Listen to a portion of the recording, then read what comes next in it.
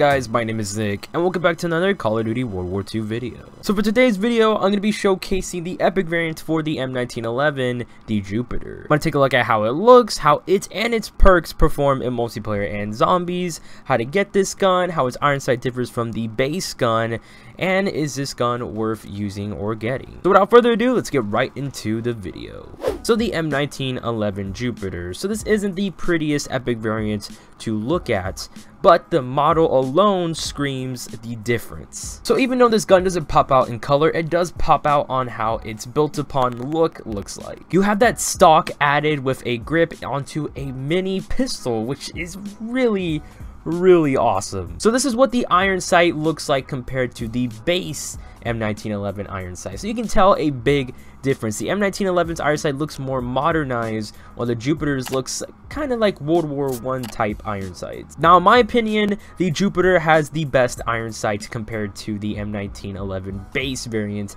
because the Jupiter doesn't have any surroundings around the sight. It's just a constant line. With the M1911, it's more modernized, so there's more aesthetics around it. But with the Jupiter, it's old school, so there's just a line. So in my opinion, that's just way better. Because for me with guns like that it's way easier to aim and shoot at people with those sights. But to acquire this variant you need to get it via the quartermaster collection. And here's its collection. You have its two epic variants mechanized infantry and wings of freedom. Mechanized infantry is 8900 armor credits and wings of freedom is 5675 armory credits. Then you have its two rares eagle-eyed and sidearm eagle-eye is 375 armor credits and sidearm is 275 armor credits. Then you have its commons hot Dog, Always Watching, and Single Action. Hot Dog is 225 armor credits, Always Watching is 125 armor credits, and Single Action is 125 armor credits. Now this variant is super expensive, and with a variant this expensive, is it worth getting for multiplayer or zombies? So first off, multiplayer. So it does have a multiplayer perk, and it's 10% extra soldier XP. Now that's pretty much it, it just performs like a normal M1911. Again, these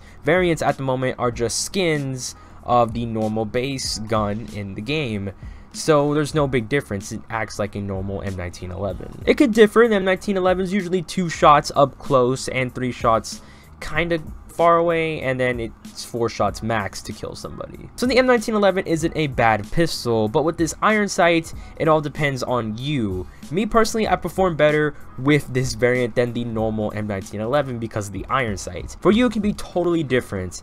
So again, it's all a matter of you. But how does this gun perform in zombies? So it does have a zombies perk and it's called center mass. And if you don't know what center mass does, basically that means you do increase damage to the body and decrease damage to the head.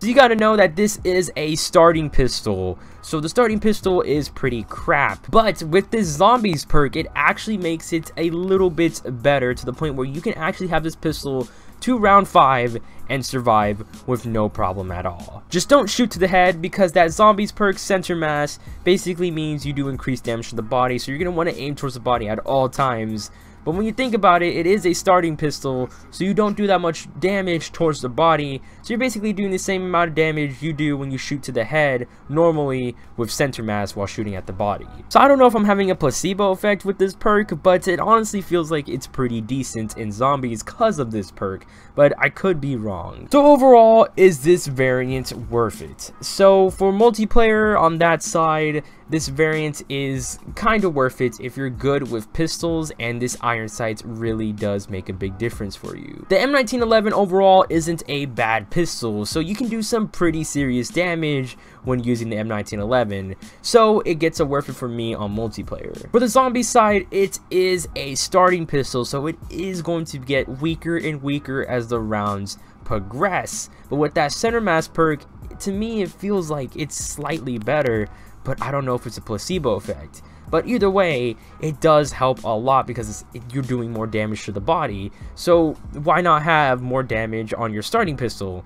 So for me, it's a big worth it on zombies as well. But that was basically pretty much it for this video, guys. If you guys did like this, drop a like, because it helps me out a ton. And if you're new to the channel, subscribe for more amazing content, I upload Monday, Wednesday, Friday, and Sunday. And remember to hit that bell and subscribe button so you don't miss an upload. Also, I'm going to pop a card to the series players right about now. It's called Is This Variant Worth It? And I'm almost done with all the variants that have a multiplayer and zombies perk. If you don't know, every single gun has one variant that has a multiplayer and zombies perk. I actually didn't know this until recently when on consoles they let you see all the variants per gun. But I highly recommend staying up to date to the series if you have any variants that you're looking forward to getting on the Quartermaster Collection, because I'm pretty much close to doing all of them on the Quartermaster Collection. So I really recommend checking out this playlist after this video. But again guys, that was basically pretty much it for this video, and tell me what you think about the Jupiter. I want to hear your guys' opinion on the Jupiter. Do you like how it looks? Do you like how the iron sight is? Do you think this zombies perk does make a difference with this gun?